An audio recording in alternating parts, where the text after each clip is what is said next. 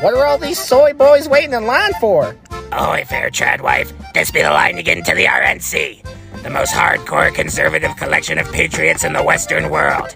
Only the most based and red-pilled gigachads can get in. Welcome to the RNC. How trad are you? How trad am I? I support the LGBTQ. Yeah, so?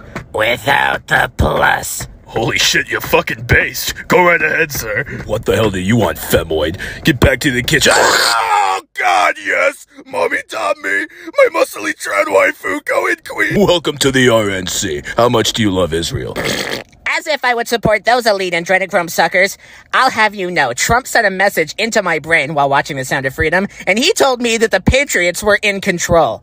Uh huh. I think you belong in that club over there. QAnon Juniors! What do you think I am, some nut job? Oh, no, sorry, I was pointing to the place next to it. Super weenie chud cuniors! I am not a chud! I'm a trad cath conquistador! Yeah, I've definitely been feeling black-pilled lately. The West has fallen. Yeah, billions must die. What a couple of incel chuds. Oh boy. Would you like another Red 40 Soylent chud? God damn it, I'm out of here! Let me in, or I'll get my Latinx libertarian boogaloo boy wife to come over here from our wheat farm with his AR-15. Did somebody say boy wife?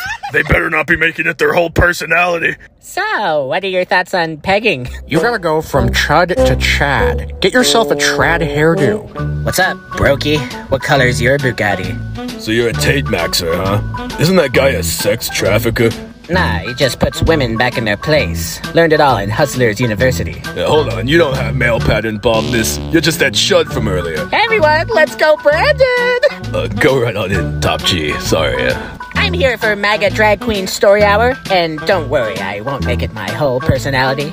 You're not a heckin' wholesome Republican trans POC we can use as a mascot. Get out of here. Maybe if you drink some Black Rifle coffee and use dude wipes, then we can talk, little chud.